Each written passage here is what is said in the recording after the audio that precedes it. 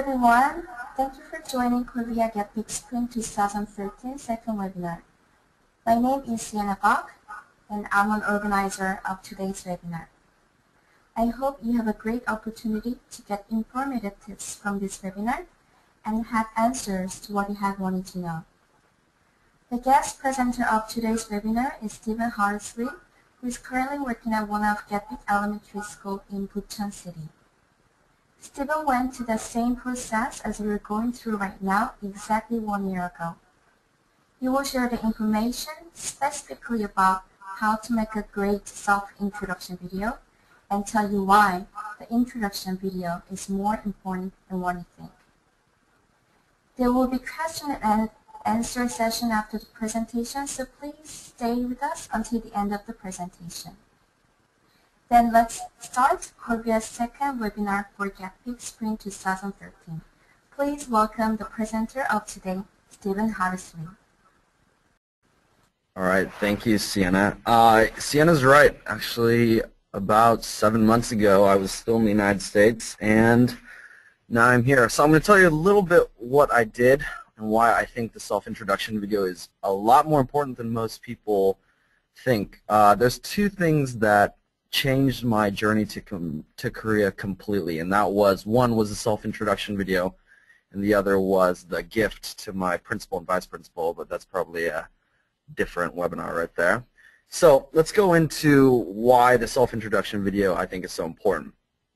First of all, it's kind of a resume 2.0. You got to market yourself. You know, this is a tool for Korvia to give to schools so they can uh, choose uh, what teacher they want. So pretty much what's going to happen is uh, school's going to express interest that they want a native speaker for their school, and then Korvia is going to send your resumes and your video. So the problem is all resumes start to look the same after a while. You know, if you're looking at 20 resumes, how much is it really going to differ from, you know, another resume?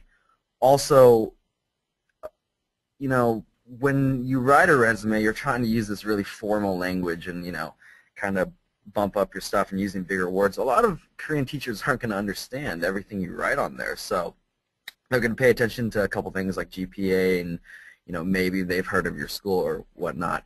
But really, I think this is the resume kind of of the future and uh, really important for the GEPIK process.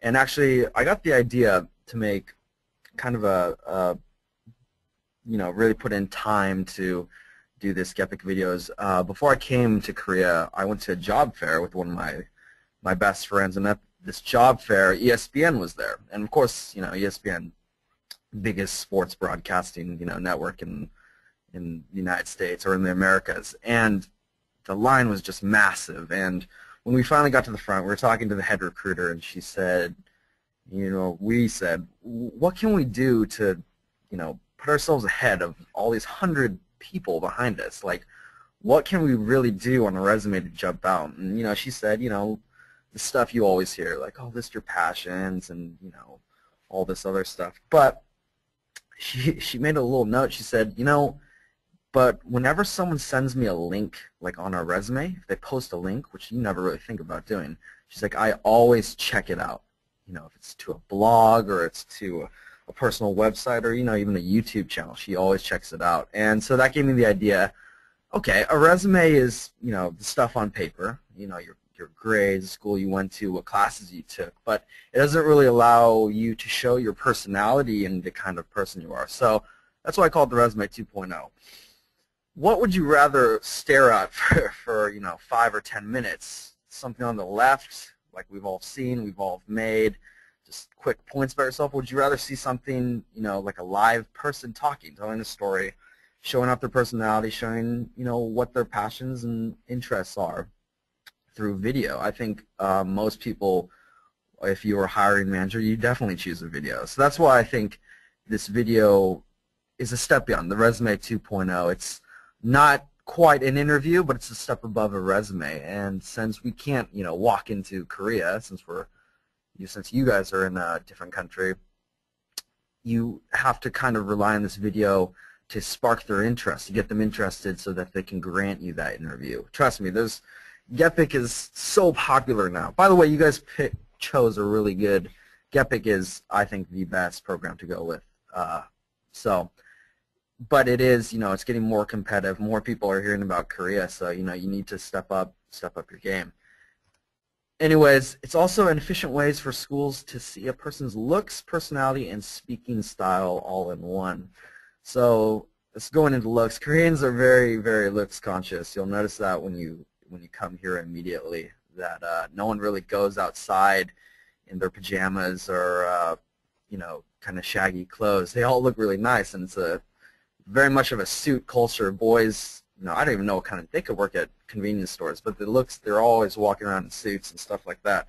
So I'm not saying you know you need to go out and get plastic surgery, rearrange your face, and all that stuff, but you should definitely, when you do this video, look your best. And facial hair usually has to go. I mean, maybe you can grow it when you're here and see see how it goes with your school, but for the video, if you have this, you know, massive lumberjack beard, you know, that's not really favorable. A lot of Koreans don't really aren't really comfortable with that. So, you know, make sure you look nice, um, wear suits and all that stuff. But yeah, uh, like I said, one of the reasons is they're very looks conscious, so this allows them an avenue to see, you know, who they're going to be teaching next to. A lot of this is, you know, you are a teacher, but, you know, think about your students' parents. They can't speak English. Most of them won't be able to speak English. So the only thing they're going to be able to judge you on when they do an open class or they see you around the school is by looks. So they want someone who looks friendly, who looks professional, and, you know, would be a good representation of their school. Uh, Personality-wise, you know, are you a dud or are you a stud? You know, if are you do you have an energy? That's the great thing about a video that a resume can't do is you get to see the energy someone has. Um, someone might have a great looking resume, you know, the 4.0, all greatest school, but their personality is just not there. They don't have energy, and really that's what teaching is about, especially in Korea when you're uh, a native speaker. It's about the energy you have towards your class. So I'm sure you know teachers are definitely looking for that. And also speaking style. You know, they want to see if they can understand your accent. You might be great looking, you might have a great resume, but if they can't understand the word that's coming out of your mouth, you know, they might know, might have a problem with that. So like I said, video is the perfect package for this. You get to see looks, personality, and speaking style all in one form. And finally, the ability to bypass flaws on your resume or any pre-existing condition you may have, also known as the Kyopo dilemma. That's something I coined myself. But, so let me tell you a little about myself. Let's go into story time. Uh, I was adopted when I was about three months old to an American family in the United States, and I had no background in Korean, could not speak the language, uh, didn't know anything about it. So when I you know, start getting interested in Korea. I went through Korvia, and there's when you come to Korea, Gyopo's Gyopo is like a uh, a Korean whose parents went to another country, you know, like a Korean American, Korean Canadian, Korean Australian, you know, keeps going. Um, in Korea, it's kind of tough to get a job when you're a Kyopo, especially in public school, because they want, you know, they're investing all this money. They want something that is, you know, that looks foreign, to be quite frank. They want that, you know, foreign mystique. It's kind of like you go into, you know, you go to a Japanese restaurant and the cooks and all the staff is, you know, Italian. You're kind of like, oh, I want the authentic thing, which, you know, it, it sounds bad, but that's that's the situation over here. So with that, um, they still do hire Kyopos, Kyopos because they can speak, most of them can speak Korean and English. But I'm adopted. I, I look this way, but I can't speak Korean. So literally, I'm on the bottom bottom of the totem pole. And uh, my recruiter through Korvia was Claire, great girl. And she, you know, after we were doing the process, she sent, she didn't take me aside, but she sent me an email and she was kind of like, you know, because of your situation, it's going to be kind of tough to get you a job, so you might have to be flexible and you might have to work a little bit harder. And I was like, that's fine. You know, I'll, I'll do whatever it takes. And she said, okay, so send me a video and, you know, we'll, we'll see what we can do. So right then I thought, I was like, you know what, I'm going to make the best video I can possibly make and just blow Claire away so that she has this re-energized, you know, attitude towards me and hopefully schools will see past, you know, my picture because that's all you're going off right now before this video is just a picture and your resume and pictures if it's like mine it's probably horrible so I made a video and I looked I was doing all this research on YouTube and I'm sure you guys have too and you just see people in front of a webcam and they're like lying down on their side with their hand on their like face doing some weird like sexy kind of pose for when they do it but uh, they were horrible. You know, like they weren't interesting at all. And I was like, you know, I'm gonna make something that varies the shots, shows my my life, not just me talking to the camera. And so we did that, and I went from having uh, no interviews, no interview requests from schools. Sent in the video. After that, I had a handful, and I it actually completely turned around the the interview the interviewing experience because before it was completely an employer's market but after this it kind of got changed in my favor the school I'm actually with I'll never forget it when I interviewed with them they immediately just said like please please choose us please choose us please choose our school I was like, this is kind of strange. You should be the other way. They should be asking me, like, why should we want you? But if you make a great quality video and it looks, you know, like it got has some time put into it, you know, they're going to take notice and it's going to stand out. That's the most important thing is making your video stand out from all the other ones they get. If you have, you know, if you have a great quality one with production value, they're just even even if your resume is not that good, it's still always going to stick out in their mind. Um, so anyways, let's go into videos, do's, and don'ts, and then we can go into Q&A because I think that's more important to hear your guys' questions. So I've divided this into two sections. Do these and try not to do these other ones. Um, if if you have to, it's okay, but try try not to. Technical for do these is get a real camera. I know you guys have to have at least one friend who's nerdy and into video. Maybe you know, maybe in your family as well. Uh, borrow from a friend if necessary. Try not to use a webcam. Um, I know most of you guys are Apple users, and the photo booth option is, you know, is probably what you guys were thinking, and that that's okay. But if you can get a real camera so you can make it mobile, take it where you go, you know, film film scene outside. You know? Just you eating at a restaurant uh, with a friend, it'll vary the shots. You know, uh, use an external mic or position yourself close to the camera's mic. Before I came here, I used to work in uh, television, and we were always told, you know, you can have the crappiest video quality out there, but if your mic is good and your audio quality is good, you can still tell a story effectively, and I think that's true. Uh, definitely, it's a huge turnoff. I mean, you guys have watched older YouTube videos where it's like unbearable now. You know, you're so used to high quality, and you watch something from 2006, uploaded in 2006, you're like, this is unbearable. It's, you know, the school person, you know, if they're watching videos and one person's quality is just crap, they're gonna they're gonna you know go to the next one. They're not gonna give you a full chance. Um, use people to help you.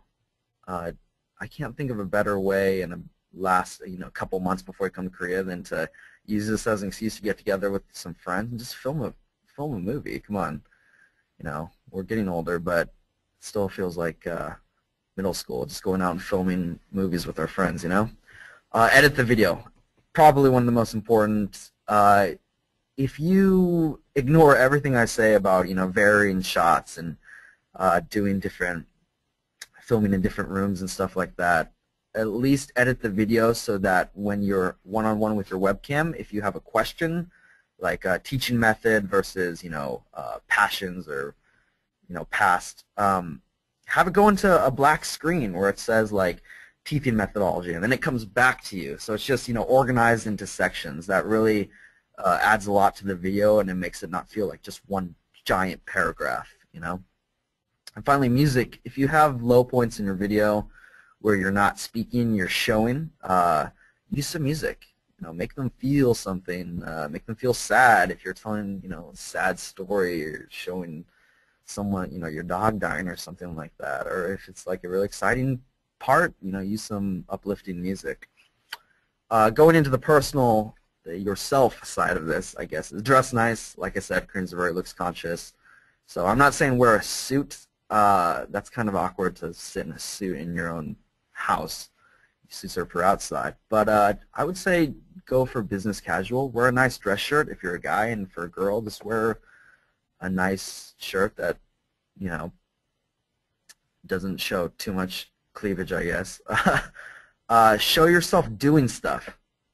That's really important rather than just sitting in front of your microphone and your computer. Is show yourself doing something. If you have a passion, if you have a hobby, do it. You know, show them. Don't say this is me juggling. Just show it. just show it in like a montage of shots or something like that, of pictures about your past. Um, also, like I said, vary the shots of yourself. Uh, don't just have one shot going straight on you and leave it there the whole time. Maybe do it in a different room or, uh, you know, outside when, like I said before, if you're eating with friends, you know, just film it, showing that you're a human being, you're a person, not just someone who, you know, only is an academic scholar that really wants to come to Korea and does nothing but study all the time. And finally, express yourself. Uh, show your energy if you have it, definitely, because that's the thing that's going to shine the most, and that's going to probably make the schools uh, give you a better chance of being picked because a lot of times, you know, when you're trying to entertain young children, such as elementary school students, and you don't speak their language, you just have to be excited about it. So they, uh, they want to see your energy. For technical, for try not to do these, try to avoid using a laptop webcam. Like I said, I know that's not an option for all of you, but try not to. Um, avoid filming in your bedroom when I was doing research for my video, I looked, and there's this guy that, swear to God, he had uh, his room. It was his bedroom, but it looked like a Soviet like prison cell. Like there's no nothing on his walls, and there's like a single mattress, no box spring even, like on on the floor, and it's just. Even though there was nothing in that room, it was so distracting because there was nothing in that room, and it just made you think like, is this does this guy even live here? Like, is this house, or is he squatting, you know, in like a de development somewhere? Um, avoid filming in a place with lots of noise. I know that's kind of given for audio and all that stuff, but uh, that's why actually most people choose to film in their bedroom.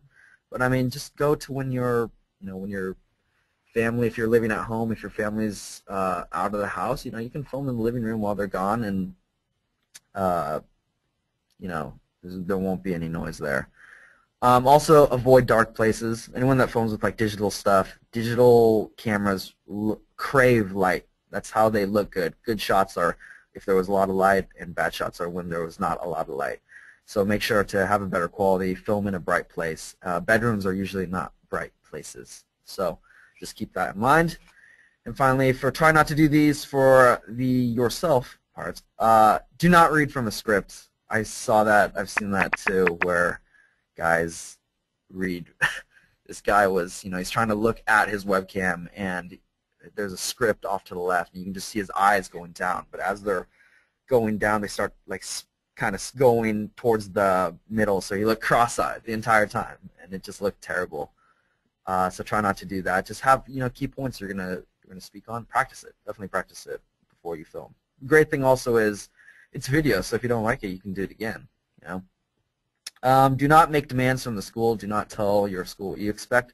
Just tell them what you expect your, about yourself, how you're going to perform, you know, what you're going to bring to the table.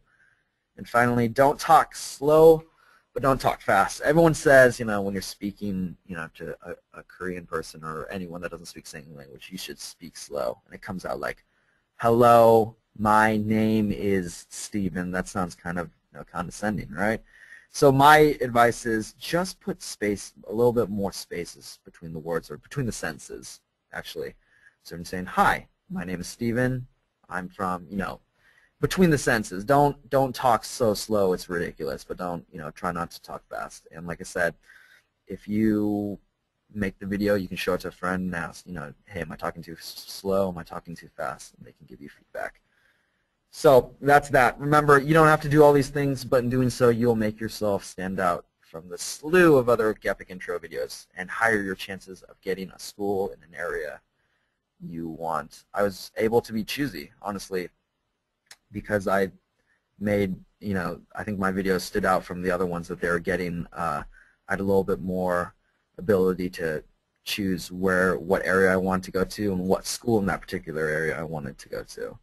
Uh, just a little fun fact. I chose my school based on the fact that they said I'm going to get an officetel and a bathroom that has a shower door. That's completely how I chose my, school. No, I'm just kidding. But anyways, um, that's it. So I hope you guys have some good questions. This is, you know, a great time to, to ask if you have any questions for me. So with that, I'll hand it back to Sienna. Thank you for the presentation, Stephen. Now we're going to have question and answer time. Today's guest, um, Presenter Stephen, and our Korea director and co-founder, Park, will do their best in answering your questions.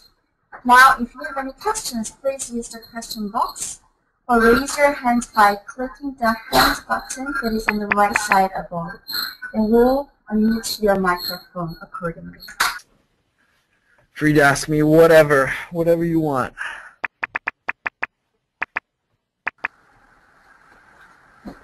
Uh, hello, I'm sorry, my microphone has a little bit of trouble. So you have a lot of questions, and Stephen make sure Stephen has to go back to class in 20 minutes, right, Stephen? Uh, what time is it? Yeah, in about 20 minutes.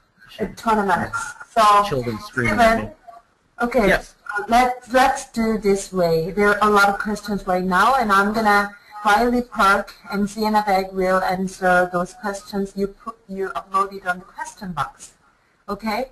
And. I will turn on those people's those people who raise their hands so that you can hear what they're what they're asking about. Okay. First, Perfect. okay, uh, Erica, mm -hmm. I will unmute your mic. Can Can you say hi? Hi. Hey, how are you, Erica? Fine. How are you? Good. Good. So my question is this. Gotcha. In terms of video editing and stuff, I'm very, very, very limited. Do you yeah. have any programs that you would um, that you would um, recommend? I have Windows Movie Maker, but I don't know if that's good or there's something yeah, you would Windows recommend Mov- little user Windows Movie Maker is perfect is is perfect. Or if you have a Mac iMovie, um, it doesn't. You know, it, I'm not saying you know like have explosions or stuff like that. Uh, just just be able to use something that can you know just edit pictures, video, and some audio together. And yeah, Windows Movie Maker is perfectly fine for that, and uh, iMovie is great. Um, yeah. okay, thank you. No problem. All right. Uh, thank you, Erica. I will unmute your mic. And Tony? Hey, Tony? Yeah, hi. Uh, I, can I see your video? Yeah, uh, they. Yeah, it sounds I'm fantastic, sure can, but I actually I don't have anything to go on.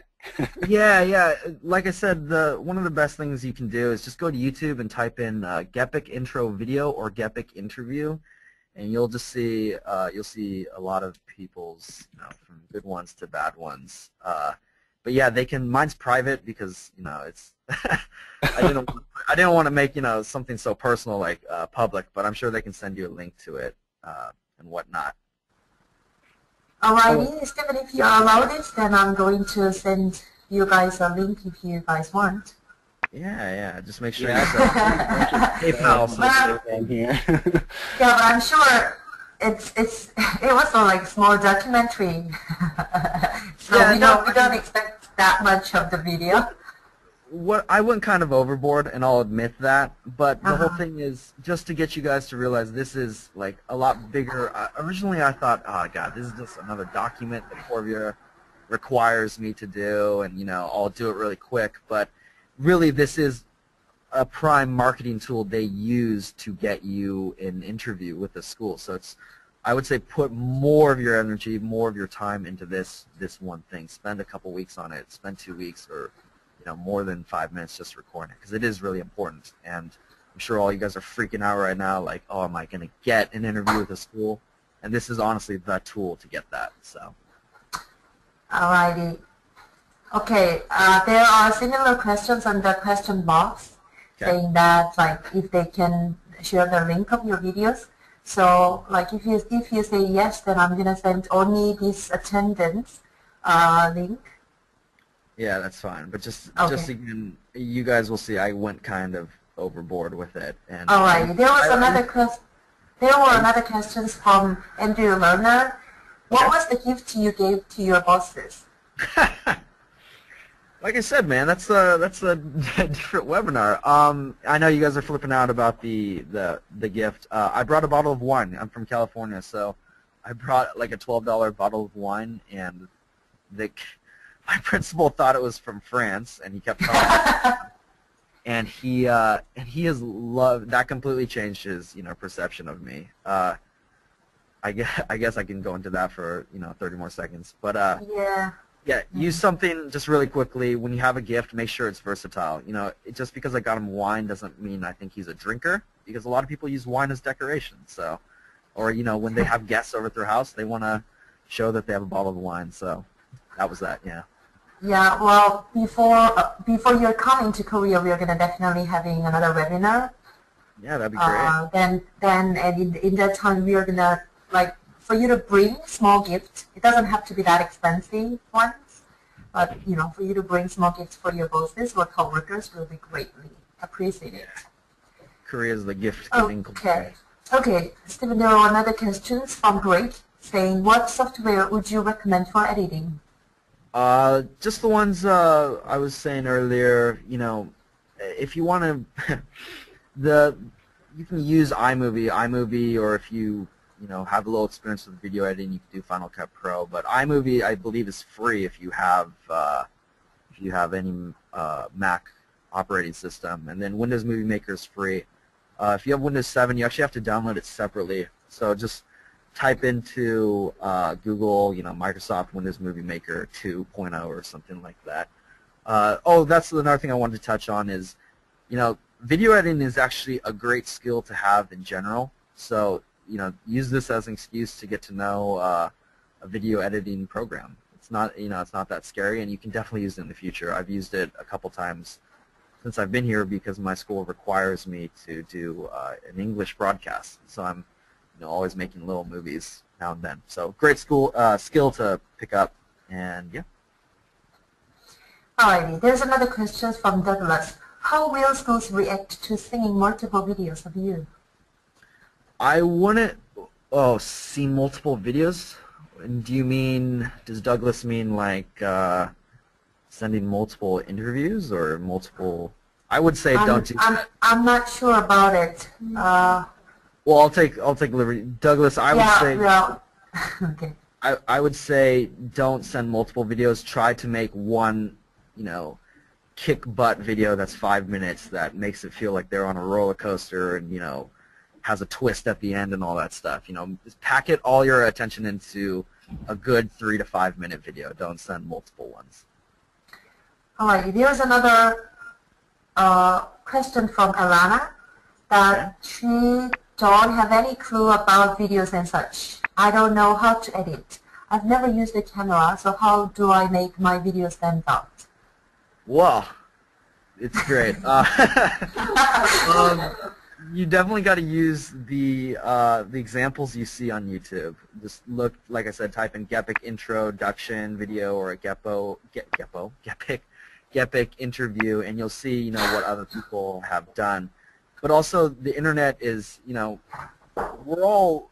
I'm sure all you guys visit Dave's ESL Cafe and Waygook.org or dot .com, whatever it is now, uh, all the time. So we're all pretty internet savvy. So anything that's the great thing about the internet is there's tutorials on YouTube for how to use any program. So if you don't know how to do anything on Windows Movie Maker or you know iMovie, just type in what you want to do on YouTube and you will find a tutorial, a video tutorial of someone doing it. So it's it's it's it, can be a little bit time consuming, but you know this is a year a year long contract, so uh, I would just uh, you know try to make the best video you can. You know.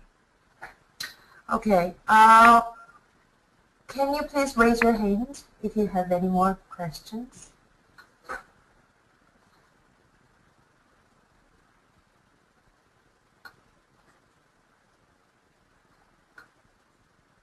Anyone? He's going to have to go back to his class in five minutes, so please be hurried.